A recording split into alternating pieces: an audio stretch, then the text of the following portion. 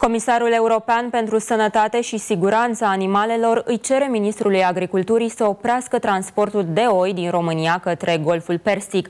Oficialul solicită această măsură deoarece condițiile adecvate pentru bunăstarea animalelor nu pot fi garantate.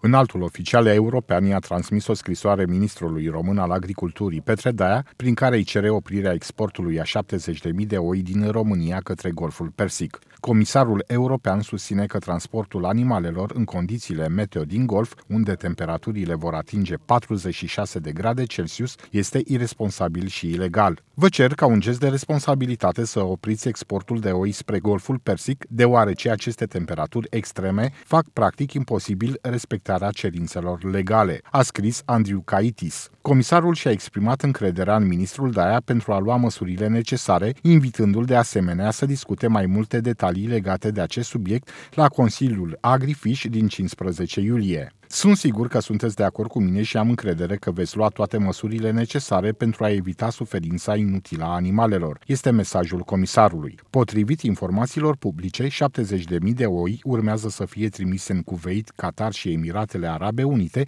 pentru sărbătoarea sacrificiului care are loc în luna august.